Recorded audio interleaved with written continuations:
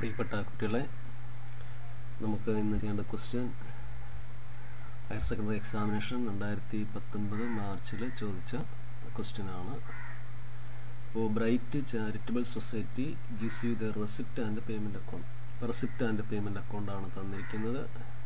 December മുപ്പത്തി ഒന്ന് രണ്ടായിരത്തി പതിനേഴ് വർഷം അവസാനിക്കുന്ന റെസിപ്റ്റ് ആൻഡ് പേയ്മെന്റ് അക്കൗണ്ടാണ് അപ്പോൾ നമുക്ക് റെസിപ്റ്റ് സൈഡ് നോക്കാം. Opening balance cash bank. ഇതെവിടേക്കാണ് പോകേണ്ടത് നമുക്കറിയാം. ഓപ്പണിംഗ് ബാലൻസ് ഷീറ്റിന്റെ അസറ്റ് സൈഡിലേക്ക് subscription ഇൻകമാണ് donation for building donation for building എന്ന് പറയുന്നത് ഒരു സ്പെസിഫിക് പർപ്പസിന് വേണ്ടിയുള്ള ആ ഡൊണേഷൻ ആയതുകൊണ്ട് അതിന് ക്യാപിറ്റൽ റെസിപ്റ്റ് ആയിട്ട് എടുക്കണം. അത് ബാലൻസ് ഷീറ്റിൽ ലൈബിലിറ്റി സൈഡിൽ കാണിക്കണം. അപ്പോൾ ഡൊണേഷൻ ഫോർ ബിൽഡിംഗ് ബാലൻസ് ഷീറ്റിൽ ലബിലിറ്റി സൈഡിൽ കാണിക്കുക. ലെഗസി ലെഗസിയെക്കുറിച്ച് അവിടെ അഡ്ജസ്റ്റ്മെന്റിൽ ക്യാപിറ്റലൈസ് ചെയ്യാൻ പറയുന്നുണ്ട്. അതുകൊണ്ട് അത് ക്യാപിറ്റൽ ഫണ്ടിന്റെ കൂടെ ആഡ് ചെയ്യണം. അപ്പോൾ ലെഗസി ക്യാപിറ്റൽ ഫണ്ടിന്റെ കൂടെ ആഡ് ചെയ്യണം. ഇൻട്രസ്റ്റ് ഓൺ ഇൻവെസ്റ്റ്മെന്റ് ഇൻകമാണ്. ബാങ്ക് ഇൻട്രസ്റ്റ് റിസീവ്ഡ് ഇൻകമാണ്. അപ്പോൾ opening cash bank opening balance sheet asset side subscription income donation for building closing balance sheet liability side legacies capital ഫണ്ടിന്റെ കൂടെ ആഡ് ചെയ്യുക. Interest on investment income bank interest received income ഇനി payment സൈഡാണ് advertisement ആണ്.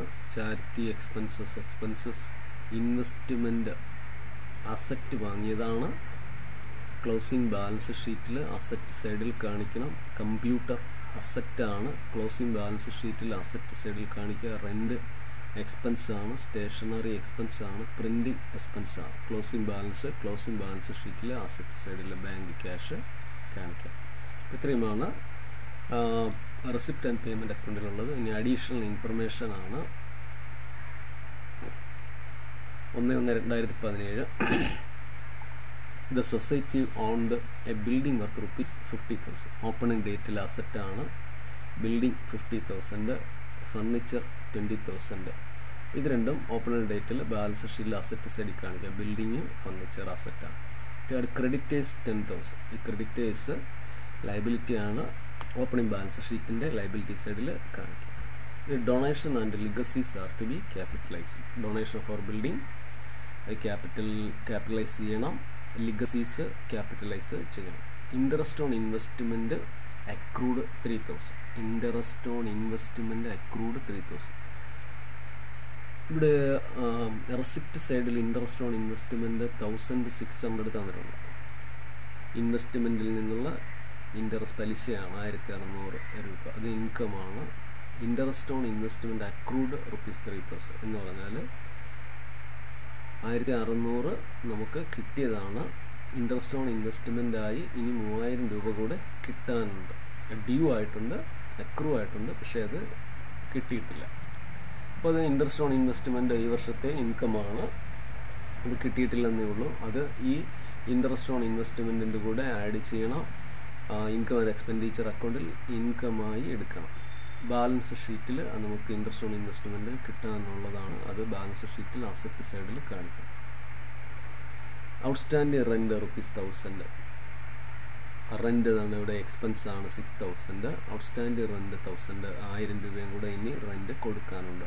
അപ്പോൾ അത് ഈ income and expenditure account prepare ചെയ്യുമ്പോൾ ഈ റെന്റിന്റെ കൂടെ ആഡ് ചെയ്ത് എക്സ്പെൻഡിച്ചറായി കാണിക്കണം. ബാലൻസ് ഷീറ്റിൽ ക്ലോസിംഗ് ബാലൻസ് ഷീറ്റിൽ ഇനി കൊടുക്കാനുള്ള റെന്റ് ആയതുകൊണ്ട് ലൈബിലിറ്റി സൈഡിൽ കാണിക്കണം ഇത്രയുമാണ് നമുക്ക് ഈ ഇൻഫർമേഷൻ ആയിട്ട് തന്നിട്ടുള്ളത്. നമുക്കിനി പ്രിപ്പയർ ചെയ്യേണ്ടത് ആദ്യം ഓപ്പണിംഗ് ബാലൻസ് ഷീറ്റാണ് ഓപ്പണിംഗ് ബാലൻസ് ഷീറ്റ് പ്രിപ്പയർ ചെയ്യുന്ന ഒന്ന് ഒന്ന് രണ്ടായിരത്തി പതിനേഴിലാണ് ഓപ്പണിംഗ് ബാലൻസ് ഷീറ്റിലെ അസറ്റുകൾ cash bank cash bank fifteen thousand twelve thousand five hundred ഇനി രണ്ട് അസറ്റും കൂടെ ആണുള്ളത്.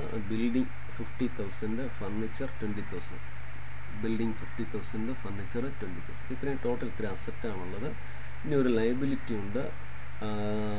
എനിക്ക് ഒരു creditors ten thousand creditors ten thousand ഇനി നമുക്ക് ക്യാപിറ്റൽ ഫണ്ട് കണ്ടുപിടിക്കണം. അപ്പോൾ അസറ്റ് ടോട്ടൽ ചെയ്യുക. ആ total asset ninety seven thousand five hundred എന്ന് വരും. അതിൽ നിന്ന് ക്രെഡിറ്റേഴ്സ് ടെൻ തൗസൻഡ് മൈനസ് ചെയ്യുക. ബാക്കി eighty seven thousand five hundred അതാണ് ഓപ്പണിംഗ് ക്യാപിറ്റൽ ഫണ്ട് ഇനി നമുക്ക് പ്രിപ്പയർ ചെയ്യേണ്ടത് ഇൻകം ആൻഡ് എക്സ്പെൻഡിച്ചർ അക്കൗണ്ടും ബാലൻസ് ഷീറ്റും ഇൻകം ആൻഡ് എക്സ്പെൻഡിച്ചർ അക്കൗണ്ടിന്റെ ഇൻകം സൈഡ് ഇൻകം നമുക്ക് ലഭിക്കുന്നത് റെസിപ്റ്റ് സൈഡിൽ നിന്നാണ്. സബ്സ്ക്രിപ്ഷൻ ഇൻകമാണ് ഇൻട്രസ്റ്റ് ഓൺ ഇൻവെസ്റ്റ്മെന്റ് ഇൻകമാണ് ബാങ്ക് ഇൻട്രസ്റ്റ് റിസീവ്ഡ് ഇൻകമാണ് ഡൊണേഷൻ ഫോർ ബിൽഡിംഗ് ക്യാപിറ്റലൈസ് ചെയ്യണം. ലിഗസി ക്യാപിറ്റലൈസ് ചെയ്യാം അപ്പോൾ സബ്സ്ക്രിപ്ഷൻ ഇരുപത്താറായിരത്തി മുന്നൂറ് സബ്സ്ക്രിപ്ഷൻ ഇരുപത്തി ആറായിരത്തി മുന്നൂറ്. ഇൻട്രസ്റ്റ് ഓൺ ഇൻവെസ്റ്റ്മെന്റ് ആയിരത്തി അറുന്നൂറ് നമുക്ക് ലഭിച്ചു. അതോടൊപ്പം interest on investment accrued three thousand നമുക്ക് ഇനി കിട്ടാനുള്ള ആണ്. അത് ആഡ് ചെയ്യണം. അങ്ങനെ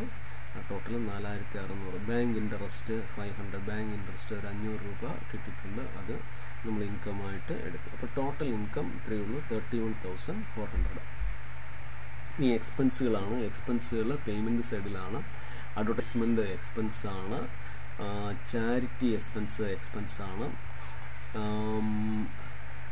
ഇൻവെസ്റ്റ്മെന്റ് കമ്പ്യൂട്ടർ ഇത് രണ്ടും എക്സ്പെൻഡിച്ചറുകളല്ല ഇത് അസറ്റ് വാങ്ങിയതാണ്. ക്യാപിറ്റൽ പേയ്മെന്റ് ആണ്. ഇത് ബാലൻസ് ക്ലോസിംഗ് ബാലൻസ് ഷീറ്റിന്റെ അസറ്റ് സൈഡിൽ കാണിക്കണം. ഇൻവെസ്റ്റ്മെന്റ് കമ്പ്യൂട്ടർ റെന്റ് എക്സ്പെൻസ് ആണ്.